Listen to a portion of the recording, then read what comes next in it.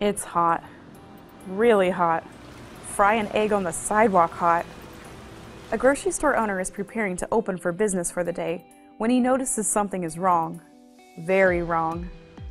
He follows the river of chocolate and vanilla ice cream to the freezers in the back of the store and realizes every one of them has stopped working. As he watches thousands of dollars of ice cream, meat, and pizza thawing out before his eyes, he wonders where he'll find the money to not only replace the food, but the useless freezers as well. What equipment do you use in your business? What would you do if any piece of that equipment were to break down?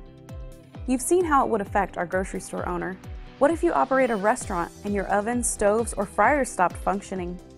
Or if the machine in your manufacturing facility that generates a large amount of your finished goods breaks down?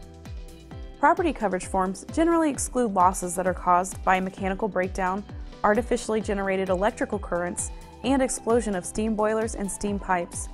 This is where equipment breakdown coverage steps in and fills that gap.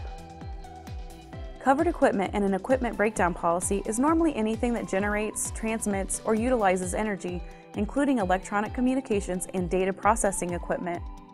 Anything that normally operates under vacuum or pressure is also covered, Think of your computers and the other electronics you own. Even the simplest of businesses use these types of equipment. The coverage even addresses loss by electronic circuitry impairment.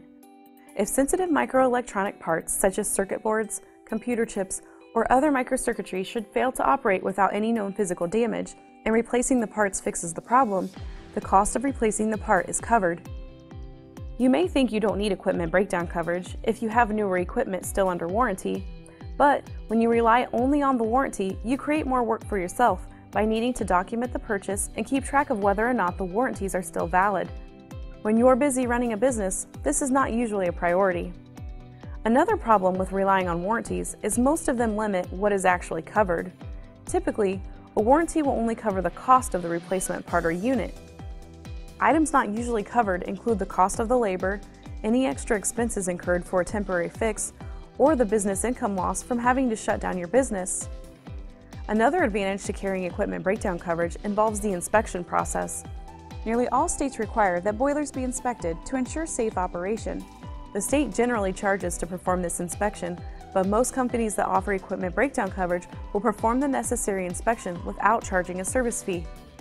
Ultimately, you need to ask yourself if the premium charge for the coverage is worth the satisfaction of knowing your business won't suffer a financial loss if there is an interruption. Contact your agent today to learn how Central's equipment breakdown coverage can help you avoid a budget breakdown.